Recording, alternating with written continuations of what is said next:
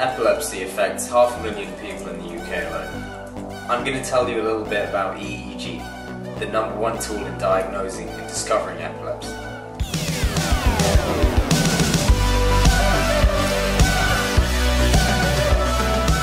Epilepsy is a neurological condition where there is a tendency for a patient who suffers from epilepsy to have seizures which originate in the brain. Although it is possible to have a seizure which doesn't originate in the brain, or a non-epileptic seizure. Right now, there are promising new trials of a new blood test designed to detect epilepsy, which measures the level of prolactin in the blood. However, the number one method of detection and diagnosis of the disease is the EEG. So let me show you one. Happened, and that results in a sensation of pain. An EEG records the brain's spontaneous electrical activity usually over a short period of time between 20 and 40 minutes. These electrical readings are then taken from multiple electrodes placed along the scalp.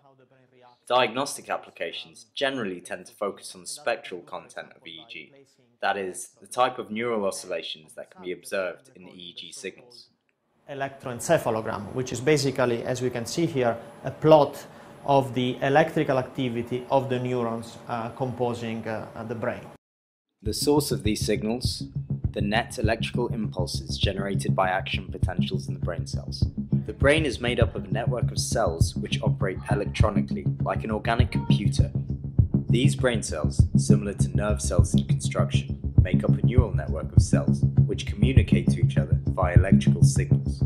The signals travel through the network via an action potential.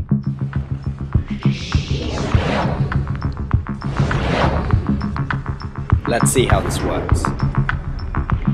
The cell becomes rapidly depolarized repolarized after reaching a threshold potential. This polarity, or difference in charge between the inside and outside of the axon, is carried down the axon until it reaches a synapse. The charge is influenced by concentrations of ions within the cell and controlled by active and passive ion channels in the cell membrane.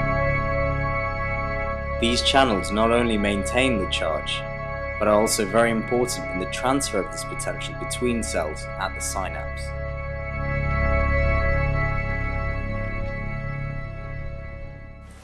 It's these signals that we're interested in. However, technical difficulties arise in making these recorded signals useful. For a start, EEG does not register the electrical impulses from specific cells within the brain. It instead gives us an indication of the current that flows along the scalp, information which on its own presents very little use. Also, at any given moment, countless neurons are firing which add to the surface signal. The way in which we capture this information is important, as is the way in which we process it. The electrodes are linked together to produce a range of signals. By analyzing these signals, and using knowledge of which electrodes produce them, we can tell what sort of activity we're seeing in the brain, and roughly where in the brain this activity is taking place. The sum of this activity produces a large dipole. The action potentials we are interested in are too short in duration to leave a useful electronic trace. Instead, we look to the excitatory postsynaptic potential, a process which lasts 10 milliseconds, 9 milliseconds longer than the action potential. As the excitatory postsynaptic potential directly follows the action potential, an increase in EPSP is directly proportional to an increase in action potential activity.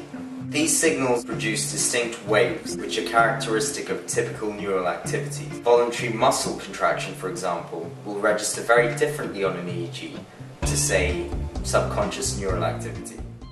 This is useful as it allows us to see which parts of the brain are being used for certain activities. It is also useful for allowing us to pinpoint where in the brain the abnormal signals originate, indicating possible cysts or areas of brain damage.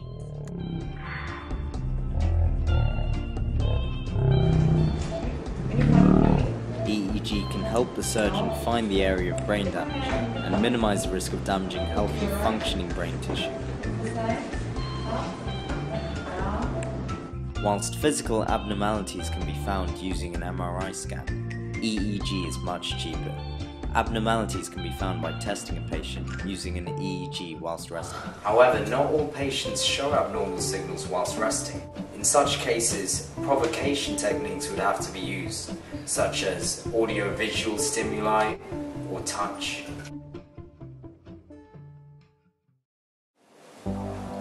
Measuring electrical activity along the scalp via tiny electrodes, EEG helps diagnose the patient, shows the doctor the affected part of the brain, and aids the surgeon in removing the problem.